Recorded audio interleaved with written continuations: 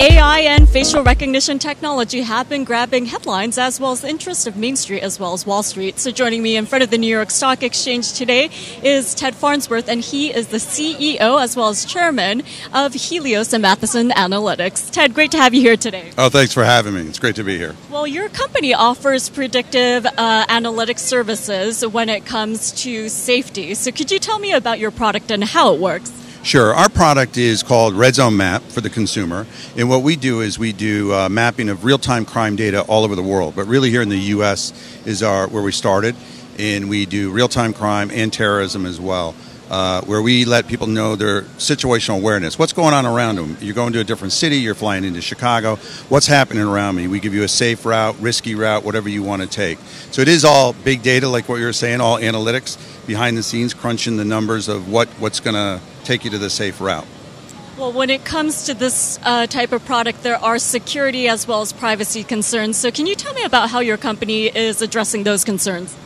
The privacy issues is extremely complicated, obviously, especially here in the U.S., where it's all about, um, you know, giving up a little bit of freedom for security, but where's that balance? Where does it all lie? And then the other thing is what we've seen with facial recognition here. You're being, wherever you are, New York City, LA, Chicago, or even small towns, you're being uh, photographed thousands of times a day and you don't realize it. Well, what's going on with that database behind the scenes? Where is it being stored? Who has it? Who has the rights to it? Who owns it?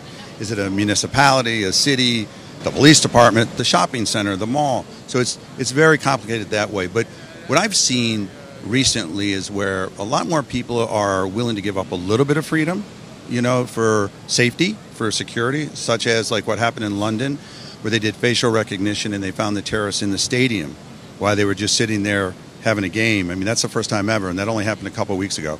So you'll see more and more facial recognition really coming to the forefront. Um, and some of the companies we're dealing with, with facial recognition out of Israel in particular, is the technology is so far ahead of where I thought it was. So it's, but it is the the the whole privacy issue is a very very touchy subject. It's going to be interesting of how our government deals with it as well.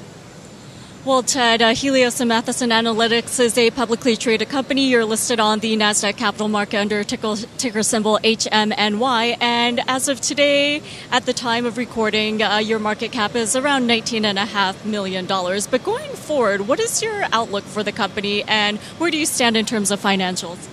I think you're going to see over the next several months with Helios and Matheson. We really took the last year as we did the merger to really get our footing to see where we're going, what we're doing. So with Red Zone alone, um, you know, as a subsidiary of that, obviously on the safety side and different things we're bringing out like zone intelligence and all that stuff. And then I think you'll see other things that happen along the way, but always based around the consumer and big data. You know, where big data of knowing what the consumer, where they're doing, where they're going, and being first mover. Whatever space we go into, we want to have first mover advantage and be disruptive, disrupt the whole sector. Nobody was in doing crime, crime mapping, or anything like that. We're still the only player really in it, uh, per se. So that was really us being the first mover. So any company we look at, impossible acquisitions down the road or whatever, it's always going to be about first mover advantage and disruptive in technology. And last but not least, before I let you go, I do want to ask about what markets you're in and how your biometrics uh, works. Can you tell us a little bit about that? Sure. Biometrics, well, the markets we're in right now is obviously a strong presence in the U.S.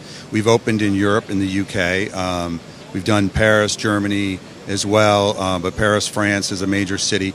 And we're gathering our data as, as we speak and building those databases. We probably have what I would say the largest live real time crime database in the world, especially in the private sector. And it's taken us three years to put that together.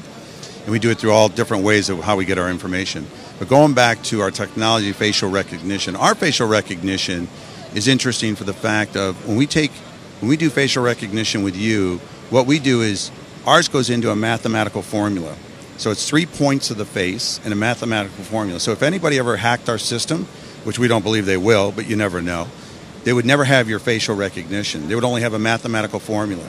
So that formula has to come down, match another formula here in less than a second, and tell you who that person is.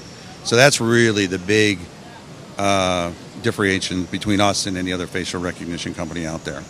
Okay, Ted. Well, thank you so much for joining me today, and thanks for all your insight into the marketplace. Thank you so much for having me. It was a pleasure. Bye bye.